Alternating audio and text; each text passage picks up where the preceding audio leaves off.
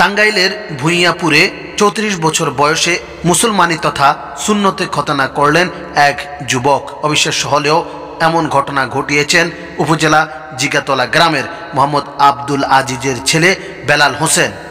গত ছয় জানুয়ারি টাঙ্গাইল ক্লিনিকে অপারেশনের মাধ্যমে এই সুন্নতে খতনা সম্পন্ন করেন তিনি।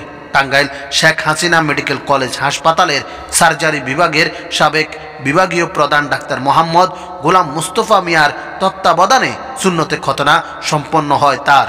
জানা যায়, জন্মগতভাবে বেলাল হোসেন পুরুষাঙ্গের মাথার এক পাশে কাটা ছিল। সবাই বলতো, খোদার মুসলমানি হয়েছে। তাই আর খতনা কারণে হয়নি বেলালের। তাদের ধারণা ছিল, তাকে আর খতনা করাতে হবে না। কিন্তু দীর্ঘদিন অতিবাহিত হওয়ার পর যখন বেলালের বিয়ের বয়স হয়, তখন নানা মহল থেকে তার বিরুদ্ধে বিভিন্ন অপবাদ আসতে লাগল। তারপর দুই হাজার আঠারো সালের জুন মাসে তিনি বিয়ে করেন।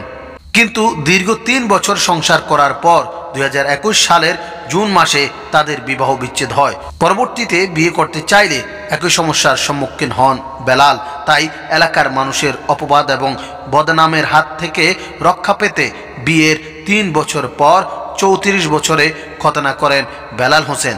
গত বুধবার ষোলো ফেব্রুয়ারি বেলাল হোসেনের বাড়িতে অনুষ্ঠিত হয়েছে মাথায় পানি অনুষ্ঠান।